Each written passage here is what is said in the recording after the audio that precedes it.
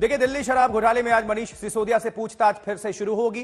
Court ने दो दिनों की रिमांड अवधि बढ़ा दी है। सिसोदिया से पूछताछ के लिए सीबीआई के सवालों की लिस्ट भी तैयार है और आज नए गवाहों से सिसोदिया का आमना सामना हो सकता है। सीबीआई मनीष सिसोदिया और गवाहों को आमने सामने बिठाकर पूछताछ कर सकती है। तो मनीष सिसोदिया के लिए फ़िलहाल तो राहत की खबर नहीं है। अलबत्ता उनकी मुश्किलें और बढ़ती हुई।